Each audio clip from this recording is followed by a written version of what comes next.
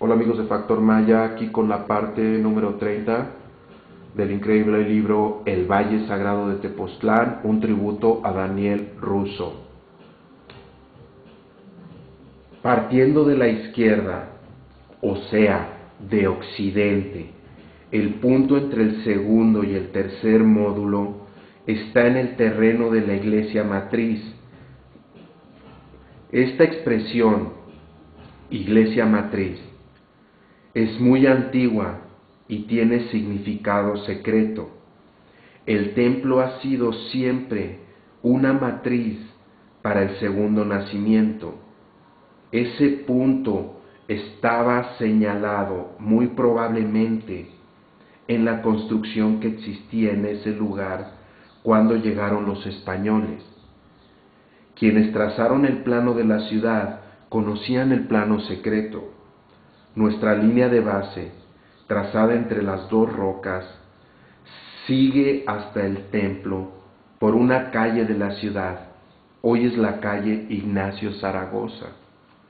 Si hacemos girar nuestra figura, tomando nuestra línea de base como eje, trazaremos el corte transversal de una pirámide invertida que encerrará la otra mitad de la ciudad y la tercera montaña.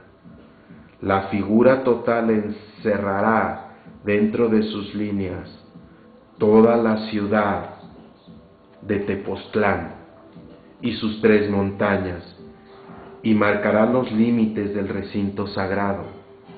El bosque sagrado de encinos rodeaba esos límites y llegaba hasta Cuauhnáhuac. Podemos asegurar que los terrenos de la actual Cuernavaca quedaban junto al bosque. Eso quería decir Cuauhnáhuac. El bosque cubría una superficie de 15 kilómetros de radio en San Juan Tlacotenco. Hay otro nombre de igual significado, junto al bosque. Hasta allí llegaba también el bosque sagrado que rodeaba Tepoztlán. Los dos primeros triángulos que trazamos y que encerraban la mitad de la ciudad de Tepoztlán y dos de las montañas que la cercan, se repetían así hacia el sur, cubriendo la otra mitad y la tercera montaña y completando la figura secreta. La tradición representaba la tierra por una barca volcada. La barca se reflejaba en el agua y aparecía en ella un trapecio que completaba el hexágono.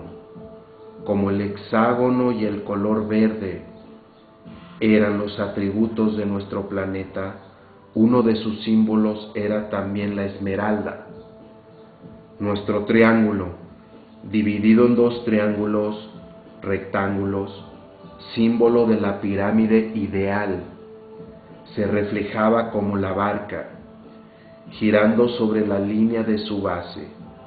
Ha quedado así construido un rombo del que conocemos todas las medidas proporcionales y reales, sus ejes, sus lados y sus ángulos. Es la base del plano secreto de Tepoztlán. Cuatro triángulos pitagóricos. Podemos calcular fácilmente los ángulos de nuestro triángulo pitagórico. El ángulo rectángulo tendrá 90 grados. El ángulo opuesto al cateto menor tendrá 36 grados 52 minutos 2 segundos. Y el ángulo opuesto al cateto mayor tendrá 53 grados 7 minutos 58 segundos. Es muy posible que los constructores utilizaran el doble triángulo de Pitágoras para una de las secciones de la Gran Pirámide, dadas las condiciones matemáticas de ese triángulo y de sus ventajas para un plano proporcional. Este plano formado por los cuatro triángulos pitagóricos del rombo, base del plano secreto de Tepoztlán. Se ajusta perfectamente a sus tres montañas, los accidentes del terreno, naturales o tallados por el hombre, corroboran la exactitud de sus líneas. Para terminar el plano secreto y utilizarlo, se requieren conocimientos astronómicos, mitológicos y matemáticos, solamente guiados por la más antigua sabiduría astronómica y mitológica. Un grupo de mexicanos podrá encontrar en Tepoztlán la caverna de la Virgen Negra, siguiendo las primeras huellas, trazada en este plano. No avanzamos más a este respecto, porque de hacerlo todo caería en manos de las fuerzas que rigen hoy la marcha al abismo, el servicio al ego. Cuando esta marcha suicida y su consecuencia inevitable sean evidentes a mediados del siglo próximo, los hombres se liberarán de esas fuerzas de raza, religión e interés personal, y harán por sí mismos lo más conveniente para colaborar al nacimiento de una nueva humanidad. Todos los libros sagrados, los cuentos mágicos y las leyendas se refieren a la salvación del hombre y a la salvación de la humanidad, para que las nociones de estas dos finalidades y de su realización pasaran de una generación a otra y no fueran olvidadas, fueron reunidos en un conjunto de símbolos, la búsqueda del tesoro, para que los elegidos supieran siempre cuál es el verdadero tesoro. Establecieron un símbolo, un símbolo supremo, la sangre del héroe, guardada para siempre en lugares inaccesibles y en una copa de esmeralda. Capítulo 15. Los perros y las esculturas visibles solamente desde el cielo. El hombre de la cuarta humanidad volaba en el espacio.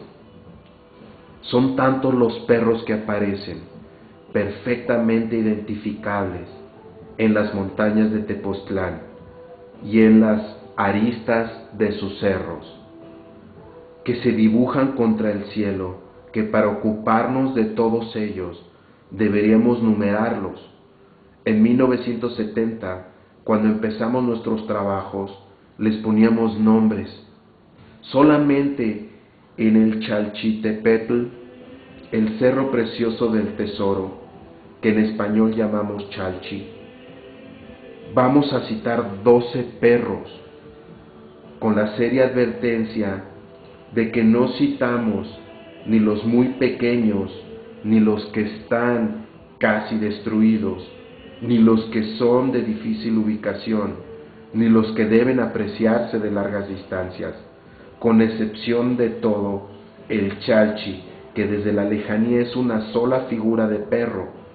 Tampoco entran en esta lista los que deben verse desde el cielo, con los que demostraremos que el hombre de la cuarta humanidad volaba en el espacio. Se trata casi siempre de cabezas de perro y en algunos casos se presentan tres juntas. Rara vez el perro se representa por completo. Queremos dejar establecida la excepcional iconografía de los perros en Tepoztlán Continuamos en la siguiente parte. Factor Maya.